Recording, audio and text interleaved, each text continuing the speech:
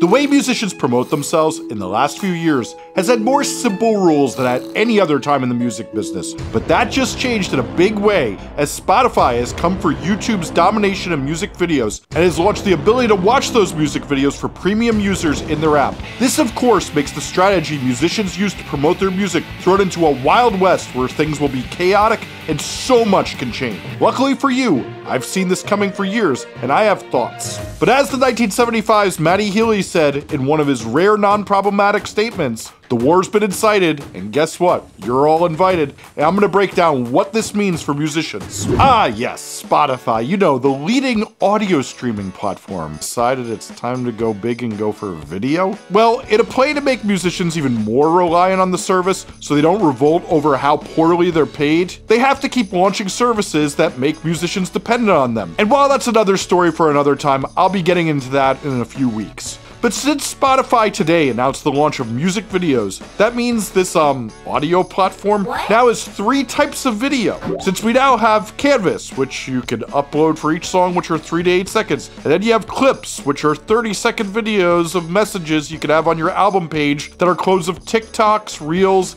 and YouTube Shorts. And now music videos, which are um videos that accompany your music for those of you who failed kindergarten. What? Anyway, these music videos are launching in the countries on the screen that you can see right now for premium users by hitting a button that toggles a switch to video. And because it's Spotify, they always only launched the biggest stars first. I mean, they announced clips like a year ago this week, and that's still in beta with only the biggest artists able to use it. But the good news about that is it gives you all time to plan for your upcoming releases, which we'll discuss in a second. And trust me, Spotify has a history of never even launching products or delaying them, so this could take more than a year to come your way. I mean, they've even dipped their toe into music videos on and off over the years, letting some of the biggest stars put up one off videos on the platform and then forgetting about that option altogether for years on end. But I will say, by the language they used here, it does seem like this is coming sooner than later for once, since those other times they made no mention of a beta period, and they really gotta come for TikTok and YouTube's dominance at some point. But before we get into what musicians should do to plan for this, let's quickly discuss what Spotify isn't doing here.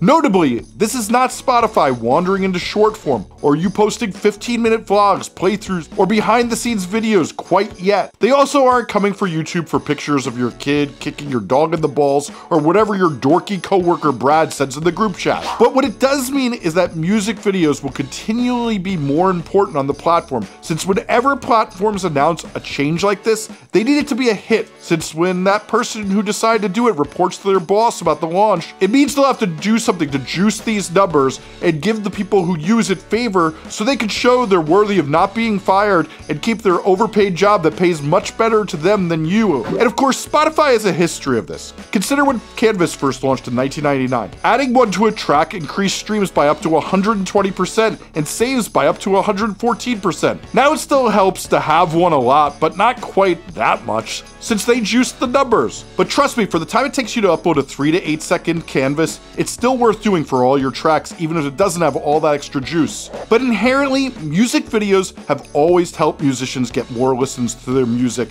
and convert fans. Despite what those absolute grifter idiots on YouTube and TikTok who love to say hyperbolic things for clicks like, The music video is dead. Well, as you can see yet again, they are idiots whose research assistants write their videos and just say things that get more clicks so they can sell more courses. Since what these fakers don't realize, and the reason your favorite artists still put out tons, if not even more music videos, all while they were saying that, is when artists make videos, it tells a story that gets fans more invested in them, and since every study on music shows fans support the artists they feel closer to, well, music videos help you feel closer to artists. The stories you tell in music videos lead to not only more listens, but also more merch sales and more support at concerts. A thing I see constantly when an artist I consult with hasn't leaned into music videos quite yet, and then after they do, we see repeated listens per fan go up massively. And while music videos have always been important, these hacks just missed it because they're faking it. And mark my words, they'll be making videos saying you need to make music videos now because they thrive on controversy. But let's talk about what you really want to know. How does this affect your release strategy for your music? When Spotify first launches music videos, it won't affect it at all. In my six to eight week consistent sustained release plan for putting your music video on YouTube, we'll simply shift to posting it to both platforms. But that may change though, which is a good reason why you should be subscribed and have notifications on for this channel. But the reality is, I'm gonna need to experiment with different strategies after this has been out for a while, since I can't know what to do till we actually see the landscape of how it changes it. But with that said, this will make videos way more important, as it's a way to get fans more invested in their relationship with you. And with the rise of short form and chopping up those long form videos into short form is a powerful gateway that gets people into your music, and that's gonna continue to grow. So music videos are all the more important. And with you being able to post them on Spotify and put them in the feed they announced last year, that's much like the TikTok for You page, all this will keep growing both on here as well as on short form platforms like YouTube, TikTok, and Reels. So making a video just continues to have more return on investment and legs for you to grow your fan base with. The fact is, Spotify won't be killing YouTube anytime soon. And it's always better for you to rely on more than one algorithm and platform to spread your music, since as I discussed in my last video on algorithms, which there's a link to in the bio or a link at the end of the video, when you have multiple algorithms and platforms working together for you, you have more chances of discovery. So making sure to still invest in posting content on YouTube is crucial since all the platforms you are on feed into each other as well as your growth on them. And while you won't need to make a music video for every song on Spotify, one of the coolest things I think we will see is Spotify is a platform where we really see songs fans like most blow up. It's so funny how often an artist releases a song